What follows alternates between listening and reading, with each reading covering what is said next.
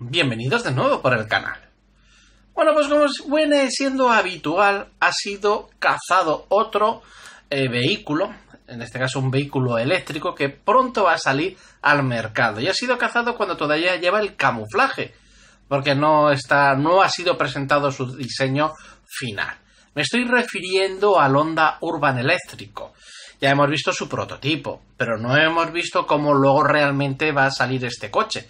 Pero bueno, como siempre ha sido cazado. Y tenemos unas fotos espías donde podemos más o menos un poco ir intuyendo cómo va a ser este vehículo eléctrico.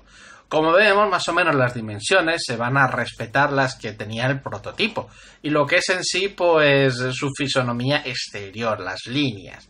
¿Vale? Como hay otras cosas que el camuflaje no lo tapa, pero bueno, más o menos podemos intuir. Este vehículo que no sabemos todavía el interior cómo va a ser, porque no, no se ha podido ver, no se ha podido fotografiar así de esta manera como las fotos espía. Y que bueno, pues todavía tampoco sabemos detalles muy precisos sobre él. Pero se estima que no va a tener una batería muy grande, va a ser aproximadamente de unos 25 kilovatios hora. Pero no sé, yo tengo muy buenas sensaciones con este coche, que con esa batería de 25 kilovatios hora, si al final es más menos, a lo mejor le ponen de 30, no creo que llegue a 40, pero la va a saber exprimir bien. No sé, tengo yo esa corazonada. Que hasta que no saquen los datos oficiales, pues la verdad es que no lo voy a poder ver, pero bueno, no sé, tengo yo ese pálpito. También el precio se estima que puede rondar los 20.000 euros antes de ayudas, que luego con ayudas pues seguramente baje el precio considerablemente y se quede pues a un precio más o menos bastante bueno. Aquí mira, os voy a poner, oh, mira, aquí abajo este es el prototipo, ¿vale? Ahí estáis viendo el prototipo de cómo se nos presentó este, este coche muy futurista, un frontal además que podía poner rótulos y demás.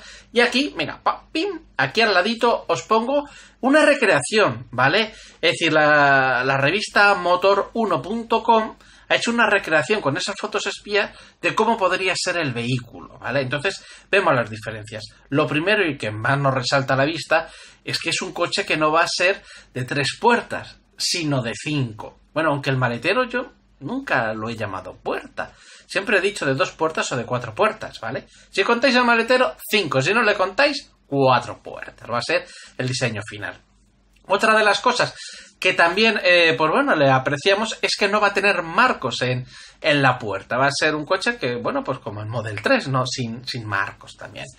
Eh, otro detalle que podemos apreciar es que sí que va a conservar lo que son los faros redondos, eh, pero, ¿vale? Eh, ese letrerito, esas letras que podríamos poner en ese frontal seguramente no se puede, así que desaparezca en el prototipo muy bonito, pero nada.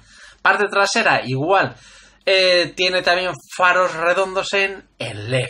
Otro detalle serían las cámaras que hacen de espejos retrovisores. En España, por ejemplo, y también en otros países, obligatoriamente tiene que llevar espejos retrovisores. No se homologa un coche que no tenga espejos retrovisores.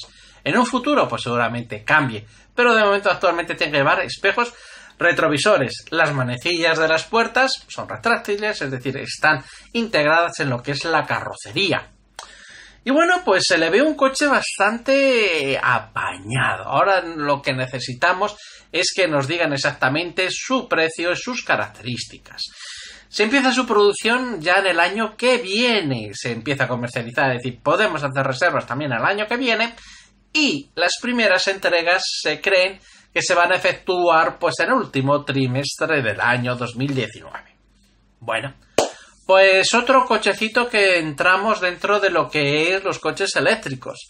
Además, digo, no sé, tengo buenas vibraciones yo con, con este coche. Ahora me falta saber, vosotros, aquí en la caja de comentarios me ponéis vuestras impresiones, inquietudes.